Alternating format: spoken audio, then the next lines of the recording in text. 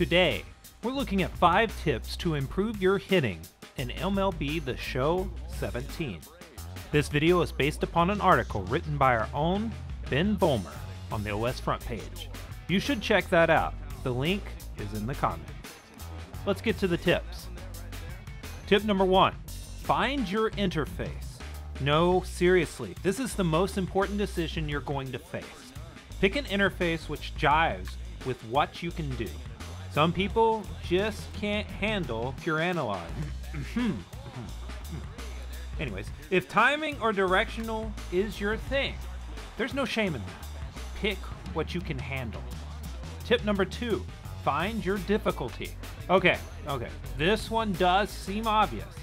But if you are not that great at the game, you probably shouldn't be playing on the hardest difficulty. I know it's rocket science, but some people make this mistake. Trust me, the first two tips here are common sense, but they are things everyone overlooks at different times. It's not a flattering look to be playing on the hardest difficulties and failing to score runs consistently. I try to find a difficulty where I'm hitting at about the league average. That does mean you're going to have really good games and some really bad games, just in case you were wondering. Tip number three work the count. Bella, quit swinging at everything. No, this is the biggest and most difficult mountain to climb in MLB The Show. But you have to wear pitchers down by working the count. Those of us who play with quick counts on because we literally don't have much time are a blessed bunch because a lot of this is already done for us. And if you absolutely cannot work the count, if you are swinging at everything, quick counts may just work for you to achieve this and help you with some plate discipline. But seriously, you have to learn to take pitches. You might start slow and take the first pitch of every at bat. Before you know it, you may be an on base percentage king or queen. Tip number four wait for your pitch. If you can't hit changeups, quit trying to hit them. If you have guess pitch on, guess the pitch you are looking for, and if it's the right one, seriously, go for it. Unless it's out of the zone, that is. You need to have a good eye, of course. I tend to approach at bats by looking for a specific pitch or a specific location until I get down to two strikes.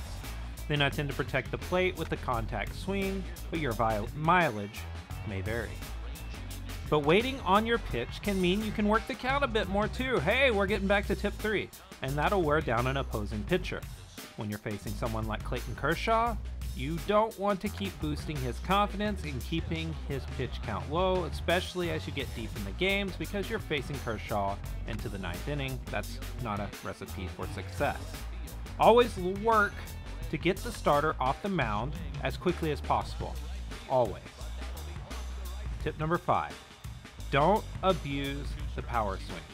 Seriously, you need to stop. Stop it. Stop it now. No, bad.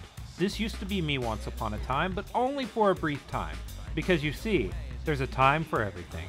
And the time to use a power swing is when you are ahead in the count. At that time, you will probably get a pitch you can drive. And when that time comes, the power swing can be used. But the time to use the power swing is not when you are down in the count, nor is it the time to use it at the beginning of an at bat, typically. So remember, this time, the time to use the power swing is at a time when it's your time as the hitter. In other words, just quit using the power swing every time you take a swing at a ball. There's five quick hitting tips for MLB The Show 17. Be sure to share your own in the comments, either on this video or on the parent article at Operation Sports. Also, be sure to subscribe to us. Seriously, click the button, do it now. We'll love you forever. Until next time.